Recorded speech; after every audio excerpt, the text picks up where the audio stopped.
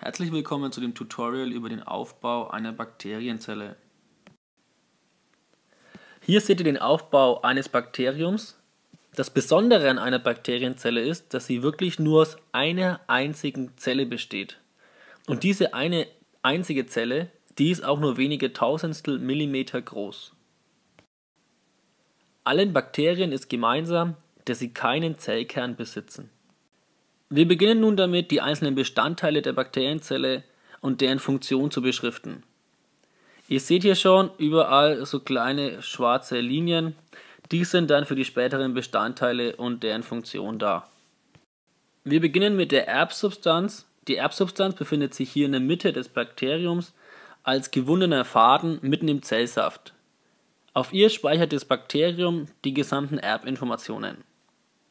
Das, was hier rosa dargestellt ist, das sind die sogenannten Zelleinschlüsse.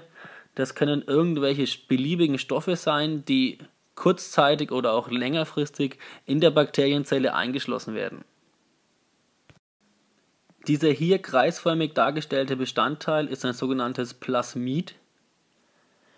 In diesen Plasmiden können die Bakterien zusätzliche Erbinformation tragen, aber das ist jeweils nur recht wenig Erbinformation, die in so einem Plasmid gespeichert werden kann.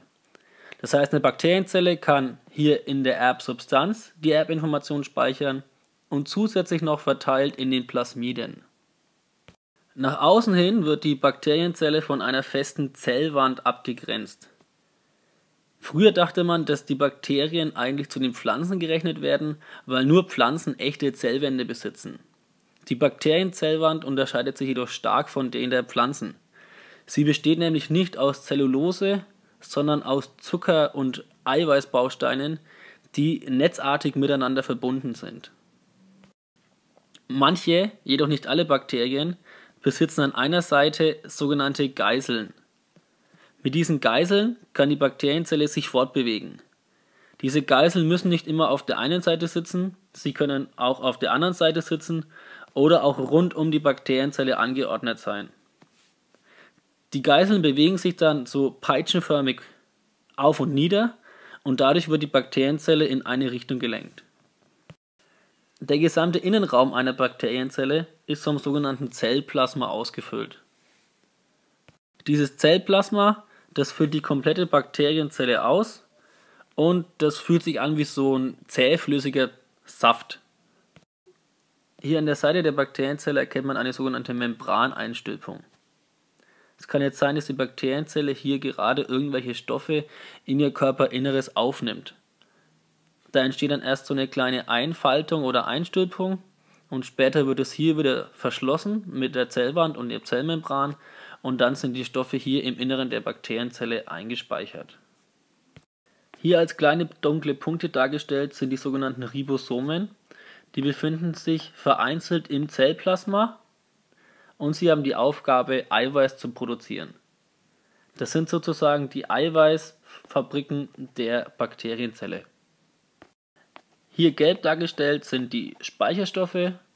Die Bakterienzelle kann verschiedene Stoffe in ihrem Zellinneren speichern, Fette, Kohlenhydrate, um sich später zum Beispiel davon ernähren zu können. Zwischen der Zellwand außen und dem Zellplasma im Inneren liegt eine ganz dünne Haut, die sogenannte Zellmembran. Sie grenzt einfach das Zellplasma jetzt von der Zellwand ab. Zum Schluss seht ihr jetzt nochmal hier eine Zusammenfassung aller wichtigen Begriffe, die wir in dem Tutorial gelernt haben. Die Erbsubstanz, die die Erbinformation trägt, die Zelleinschlüsse, die Plasmide, welche zusätzliche Erbinformationen enthalten können. Hier außen rund um die Bakterienzelle herum die Zellwand, die sehr fest ist. Die Geißeln, welche die Bakterienzelle fortbewegen können. Denkt daran, nicht jede Bakterienzelle besitzt auch Geißeln. Im Inneren das zähflüssige Zellplasma. Hier an der Seite die Membraneinstülpung oder auch Membraneinfaltung, wo eben gerade irgendwelche Stoffe in das Bakterium aufgenommen werden die Ribosomen, welche Eiweiß produzieren, Speicherstoffe, zum Beispiel Fette oder Kohlenhydrate, und zwischen Zellplasma und Zellwand die Zellmembran, diese dünne Haut hier.